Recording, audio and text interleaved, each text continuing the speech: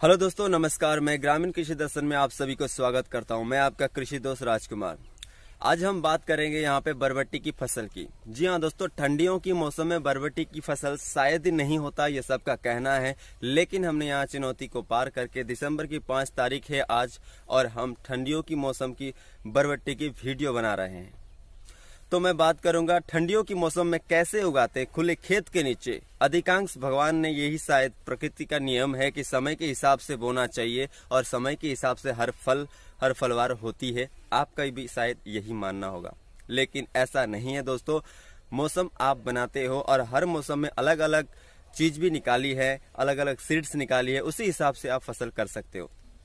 और यहाँ पे ठंडियों की मौसम में खुली खेत में बरबट्टी की बरबट्टी की जो कार्तिक की सीज़न में होती है, केवल वही होती है, उसके अलावा कुछ और नहीं होती है, लेकिन यहाँ पे दो फुट दो फुट की लंबाई, आगे आपको दिखाऊँगा मैं, दो फुट की लंबाई तक की बरबट्टी यहाँ पे हम उगा रहे हैं। तो ये इसका मुमकिन कैसे हुआ? मैं आप सबको यही शेयर करने वाला हूँ। तो बने रहिए। अगर सब्सक्राइब नहीं किया है, नए दोस्त हैं आज तो आप ज़रूर कीजिएगा दोस्तों, और मेरी मेरी मेहनत के लिए एक लाइक ज़रूर दीजिएगा। धन्यवाद। आगे बने रहिए। आम तौर पे जो किसान हैं, बारिश की सीज़न में बेड़ बना के बरबट्टी की बुआई नहीं करते लेकिन ऐसा नहीं कि ठंडी की सीज़न में भी ऐसा ही। ठंडी की सीज़न में आप सभी को बेड़ बना के ही बोना चाहिए, ये कंपलसरी है। मैं अपनी एक्सपीरियंस में आपको तीन बातें नोट करवाना चाहता हूँ। इससे होने वाली फ़ायदे।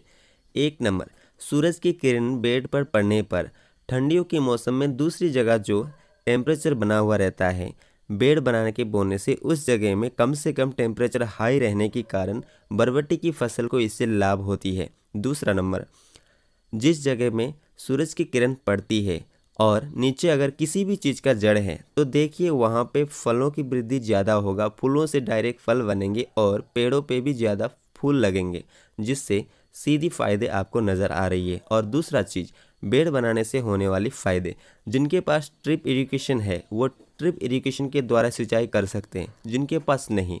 अगर माइक्रो न्यूट्रिएंट्स व जीवामृत जैसे विटामिन की तत्वों से अगर वहाँ पर डालकर सिंचाई की जाए तो सीधी जड़ों में इसकी फ़ायदे पहुँचती है और पानी का भी बचत होती है। और सीधी जड़ों में आपके विटामिन की तत्व पहुँचने के कारण सीधे लाभ आपको मिलती है। लेकिन आपको ध्यान रखने वाली चीज़ यह है, जैसे बेड बना के बोओगे, अगर बारिश का सीज़न नहीं है तो यहाँ पे देखिए नमी बहुत ही जल्दी जा सकती है, जिसे सिंचाई आपको 10-10 दिन पर करती रहनी चाहिए। अगर इस प्रकार सिंचाई करोगे तो बराबर बरबट्टी की फ़सल बड़ी होगी, लंबी होगी और फूल भी ज़्यादा लगेंगे, फल भी ज़्यादा होंगे। साथ साथ में बीच बीच में आप जो अभी जंगल की तरफ़ देख रहे हैं, ये खरपतवार नहीं है। यहाँ पे हमने सरसों की फ़सल ली थी, जो कि हम उठा चुके हैं। अब सरसों की फ़सल हम लगाने की जो कारण मैं आपको बता दूँ। देखिए, जिस जगह में सरसों की फ़सल जब उखाड़ेंगे तो वहाँ पे छिद्र बनेगी और छिद्र के द्वारा हवा और सूरज की रोशनी पड़ने से यहाँ पे जड़ों की विकास होगी और फल फूल में ज़्यादा प्राप्ति होगी। किसान मित्रों, मैं आप सभी से बता दूँ कि बरबट्टी की फ़सल कोई भी महीने में की जा सकती है। कुछ तरीके जो टिप्स हैं, मैं आपको इसी वीडियो के माध्यम से अभी बता रहा था और बताऊँगा आगे भी। ये जो पोस्ट अभी आप देख रहे हो। मेरे बरबट्टी के पीछे के हिस्से से ज़्यादा हवा आती है, जिससे मैंने सीम की फ़सल उसमें लगाई है। सीम की फ़सल में हवाओं का कोई प्रभाव नहीं होता, कोई टेंशन नहीं है। इसीलिए ठंडी के सीज़न में होने वाली है। यहाँ पे बहुत बढ़िया से मैं दिसंबर में प्रोडक्शन ले रहा हूँ। पाँच प्रकार की प्रजातियाँ मैंने लगाई है, जिसमें से एक प्रोडक्शन यह है और ये बहुत ज़्यादा फलवार करती है। मैं आगे जाके इसके बारे में स्पेशली ज़्यादा बताने वाला हूँ। बढ़िया से। इसी फ़सल के सामने मैंने दूसरी, जो अभी ख़त्म हो चुकी बरबटी, वो आपको दिखाना चाहता हूँ। देखिए, हर एक महीने में हम ले सकते हैं। ये जो आप देख रहे हैं, इसी फ़सल के सामने, वही वीडियो में कट नहीं है बिल्कुल। यहाँ पे देखिए, यह इस समय में तोड़ाई ख़त्म हो चुकी लगभग, और यहाँ पे यही जगह में कम से कम मैं एक महीने आगे का दिखाऊँगा। ये जो है एक महीने आगे की तस्वीर है।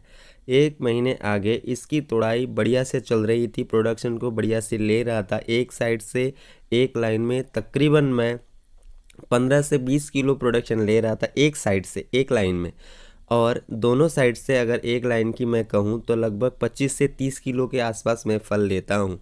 यहाँ पे चार से पाँच दिन के अंतराल पर मुझे तोड़ाई करनी होती थी। यहाँ पे बीच में लंबे डिज़ाइन के भी हमने फ़सल को लगाया था, जो यूट्यूब में मैंने पहले बीज ज़मीन की तैयारी या कंपोस्ट की तैयारी या बीज को कैसे रख रखाव करनी होती है, बीज प्रबंधन, उसकी वीडियो जब बनाए थे, वो कम से कम मार्च अप्रैल की फ़सल था। उसी मार्च, अप्रैल की फ़सल के बाद में मैंने इस जगह में इसकी बुआई की है। यह अभी दिसंबर तक ले जाएगी मुझे और दिसंबर जो आपने पहले देख के आए थे, वो लंबी लंबी फ़सल वहाँ पे दिसंबर में लग रही थी। तो आपको यही बताना चाहूँगा, मैंने पिछले एक साल से बरबट्टी को इस प्रकार से पकड़ के रखा है और ये आमदनी लगातार मुझे दे रही है। मैं आधुनिक प्रकार से करता हूँ। यहाँ पर देखिए, कोई ज़मीन में इस प्रकार के बेड नहीं बनाया। हल्का सा बेड दिखाई दे रही है। मैं जब भी सिंचाई करता हूँ, इन्हीं बेड के बीच में पानी छोड़ देता हूँ तो पूरी ये जो बेड है, इसी बीच के अब मैं उसी जगह में पहुँचा हूँ, जो मैंने शुरुआत में आपको बरबट्टी दिखाया था। मेरे किसान भाइयों, आप सबकी फ़ायदे के लिए एक बात बता दूँ। अगर आप बरबट्टी की बुआई से बहुत ज़्यादा पैसे कमाना चाहते हैं बरबट्टी की फ़सल से तो अगेती फ़सल ज़रूर करें। अगेती फ़सल करने के लिए आपको जनवरी से लेकर फरवरी के पंद्रह तारीख के अंदर आपको बीज बोना चाहिए।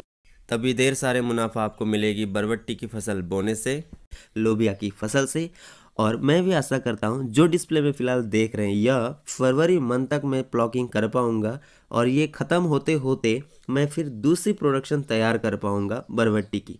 तो आप सभी ने इस वीडियो के माध्यम से यह जाना कि पूरी साल भर कैसे बरबट्टी की फ़सल की जा सकती है, और ठंडियों के महीने में स्पेशली कैसे की जा सकती है? तो आप सबने बहुत गौर से देखा इस वीडियो को। उसके लिए बहुत बहुत धन्यवाद। आने वाले दिन में यह चैनल आप सबको एक एक करके जानकारी लेके आता रहेगा। टेक्निकली इन्फॉर्मेशन दोस्तों, और मैं फ़िलहाल स्ट्रॉबेरी फ़ार्मिंग की तैयारी कर रहा हूँ। पार्ट टू वीडियो कुछ ही दिन में आने वाला है। प्लेलिस्ट में जाकर देखना ना भूलिएगा। और अंत में इतना ही कहना चाहूँगा दोस्तों, यह चैनल आगे बढ़ा सकती है, आपको लगता है तो चैनल को सब्सक्राइब कीजिएगा और वीडियो को एक लाइक ज़रूर दीजिएगा दोस्तों। मैं फ़िलहाल किसी दमदार वीडियो को लेकर आता हूँ, तब तक के लिए मुझे इजाज़त दीजिए। जय भारत, जय जवान, जय किसान।